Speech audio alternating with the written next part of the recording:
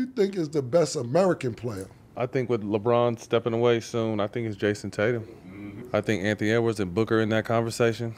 But I think They still about his stuff right now? I'm going best Right now, player right now. right now. No, right this very second. Yeah, Steph Curry. Even right. threw stuff in there. I bro. forgot because I'm thinking older. Like I'm thinking next. He got another three, four years. Three. I give Steph four more years, and if if if niggas help him, nobody's yeah, helping the nigga. Bro, right hey, hey,